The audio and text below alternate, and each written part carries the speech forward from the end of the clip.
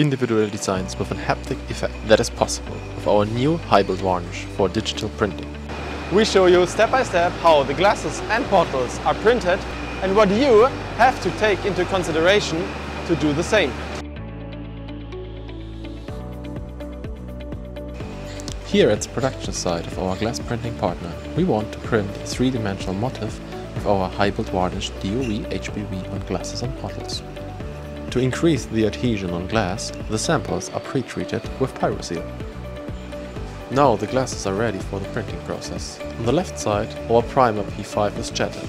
On the right side, the first ink layer is printed with UltraJet DUV-C. Between the printing of each layer, there is an LED pinning to fix the ink on the substrate. After all colors are printed, four layers of high build varnish shape DUV HBV gets applied. You can adjust the film thickness by the number of applied layers.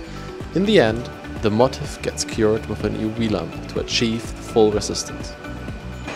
The varnish DUV HBV and the ink DUV-C can be jetted with the usual Xaar printhead, so you don't need any special printheads. The special property of the DUV HBV is that you can jet big ink volumes and easily achieve high film thicknesses, thanks to Xaar's high laydown waveform. Immediately after the last UV curing, the motif is finalized, leaves the machine and no post-treatment is necessary.